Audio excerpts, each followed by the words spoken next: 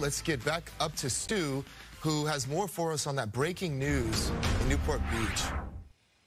That's right, early morning home invasion in an exclusive neighborhood and shots fired. All happening out here in Newport Beach is going to be out off of Vista Lusa. Now you can see that uh, Newport PD are here on scene and they believe that those shots fired preliminary may have been from the homeowner himself. I understand that one person's in custody, two people still might be outstanding. We've been watching as everybody's been looking at this house. They've got it surrounded front and back and of course uh, law enforcement enforcement. They brought in their SWAT team out here. We did see them make entry just moments ago. Now, we're not sure if they just want to clear this house or they believe that possibly one of those other suspects may still be inside. But again, this whole thing is still unfolding out here. But we do know one person in custody and that there were shots fired this morning. And Newport PD very active in a search for other suspects. I'm Stu up in SkyFOX.